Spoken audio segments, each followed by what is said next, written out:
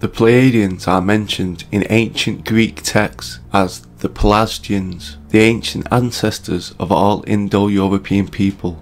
These people were known to illuminate and give the culture to Europe. About them is known little. From the ancient authors, we have learned that before the arrival of the Greeks, those territories were known as Pelasgia. The Pelasgians taught the Greeks the working of metals and the construction of walls. They were said to even extend to Italy.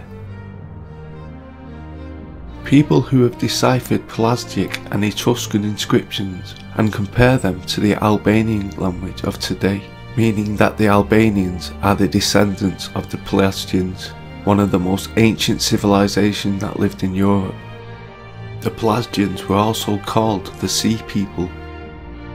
They first appear in the poems of Homer.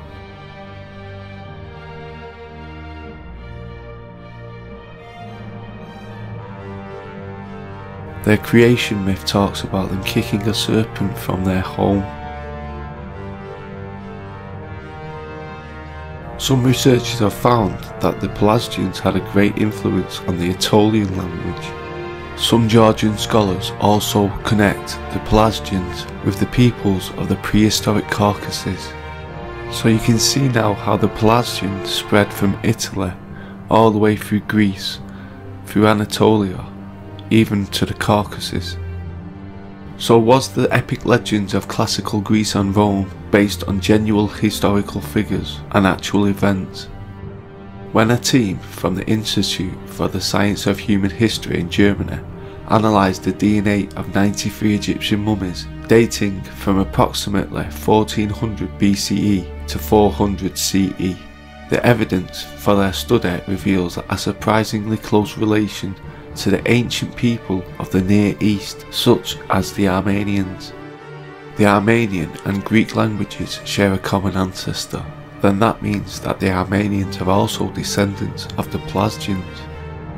Ancient peoples believed that mankind evolved in Armenia, built high civilization but was destroyed by a great flood, after which the remnants spread to all directions the Holy Bible places the Garden of Eden in Armenia and the genesis of human races around the Mount Ararat.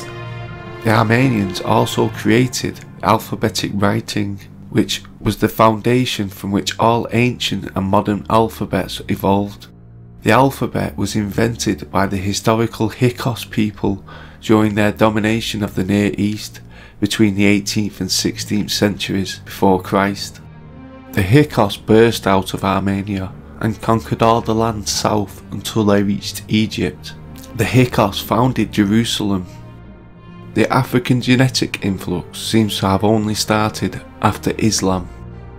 The Armenian and Georgian mountains of the Caucasus were the birthland of the white race. According to Josephus, the biblical Hebrews were in reality the Hyksos.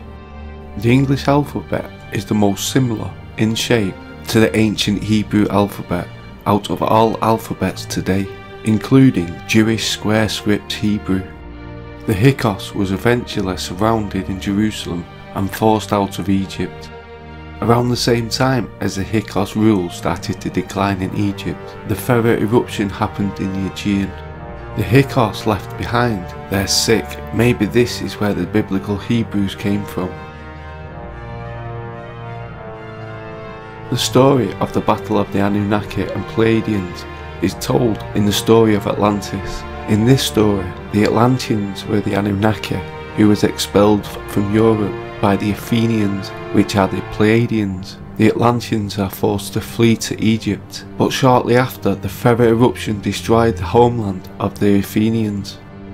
People wrote of a so-called nuclear winter resulting from the Thera eruption. Noah's flood also occurred at the same time as the Thera eruption. According to the Bible, Noah was the ancestor of all the European peoples. Once the Anunnaki had took back over Jerusalem, they expelled most of the Hebrew. Once the expelled left Jerusalem, Moses then converted them to Judaism. They were still Hebrews when they was in Jerusalem and worshipped a golden calf which represented the Pleiades homeland, the Taurus constellation.